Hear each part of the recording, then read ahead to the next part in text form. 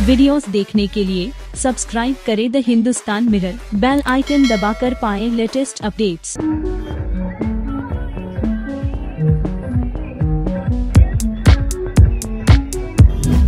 भोपाल के संत हृदय रामनगर में एक ऐसी अनोखी बारात निकली, जिसने सबका ध्यान अपनी तरफ़ खींचा। ये बारात किसी दूल्हे की नहीं, बल्कि एक दुल्हन की थी। दुल्हन भावना लालवानी अपनी बारात लेकर दूल्हे के घर पहुँची। खुली जिप्सी में सवार होकर नाचती गाती भावना ने अपनी बारात निकाली। बताया जा रहा है कि ये भावना की बचपन की इच्छा थी कि उसकी बारात निकाली जाए, जो पूरी हुई है। इसका वीडियो भी वायरल हो रहा है।